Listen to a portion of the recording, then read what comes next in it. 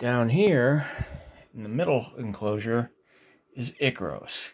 He's our Roswell laddertail, and he was the first boa I got for the family. He's pretty chill and laid back. He's probably the first boa I've had where we can just casually let him like dupe around on us. Like a shoulder buddy. I remember the first time I had him out on my shoulders, we were watching, oh, I think it was Jesus of Nazareth on YouTube. Yeah, a snake will sit down and freaking watch a fucking YouTube movie. And down here at the bottom is our big girl, Athena, our possible jungle het superstripe. Oh, and just for a notice, most of my boas are actually rehomes because people either had to move along somewhere where they couldn't take them or they just didn't have the time to deal with them. So, mostly found them on Craigslist. This lady was made by uh, somebody around here in the Chesapeake Bay area that's doing boas, and even though he uh, has dealt with like making super stripes, uh, she he had no idea as far as like planning any future projects with her because well, super stripe is a new genetic out there, and it's, it's particularly for boas. It's so new that probably a little bit harder to produce, but especially the fact that female boas need to gain size and age to uh, effectively breed without endangering their lives. But she's a very tame girl.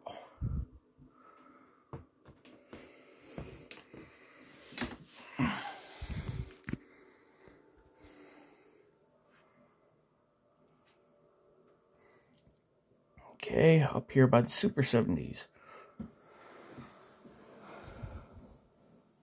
This is Phobos. He is our first ball python, first snake of many. And he helped us get over our initial fears.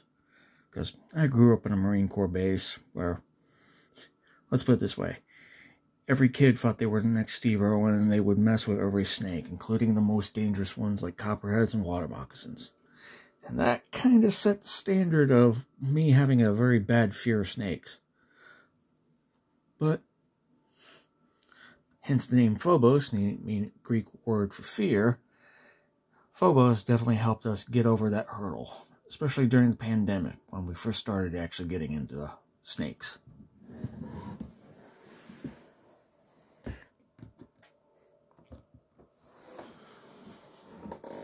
And this guy here is Bijou.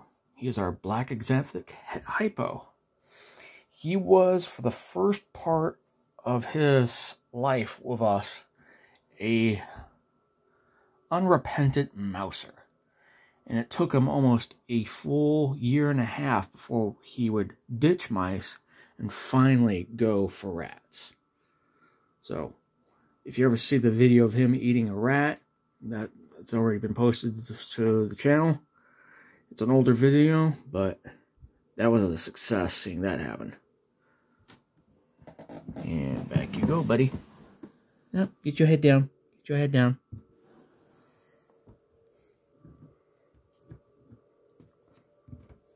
Up next is Manoa, our female albino.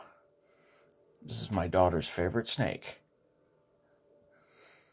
And clearly she's gone through an ovulation cycle We've paired her up with Coco Pelli, so we're going to end up possibly getting double het, albino het, het hypos.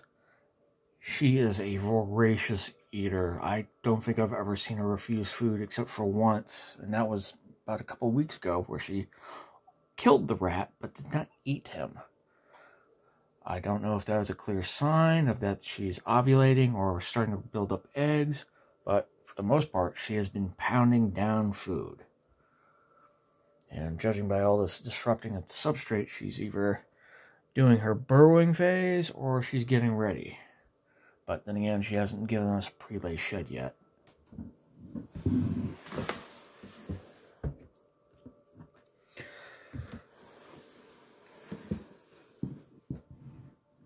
And down here is Psyche, or Mojave, possible chocolate, het orange ghost female.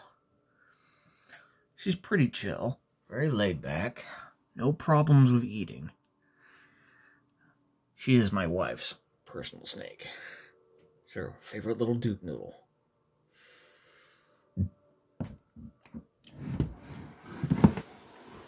And down below on the last tub here is Phantasma, our female phantom and our oldest ball python that we own. We got her from a collection sale at a local pet shop where a guy had bought a whole bunch of snakes. And then halfway through owning them, decides to sell them back so he can get into cats, particularly servals. I think that's a waste of money. Freaking trading in a whole bunch of animals for going into another breed of animals. But at the cost of being reduced, she was a bit of a steal.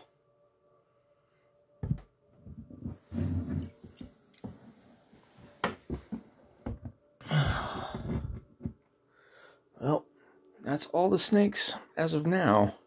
And hmm, as of right now, I don't think I can get any more because my wife would literally chew me out. But this is my s'mores, and this is our happy little noodle family. Tub enclosure to tub.